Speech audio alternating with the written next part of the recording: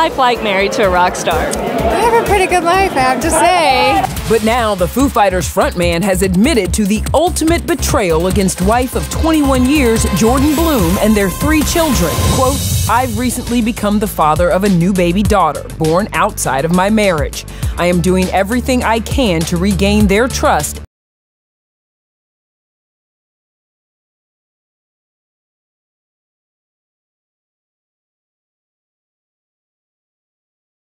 always been that of a devoted family man.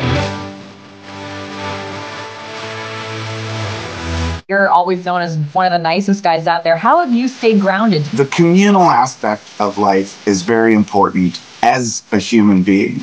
You know, whether that's going to to uh, church with your family and to appreciate what I've got. I don't take this for granted.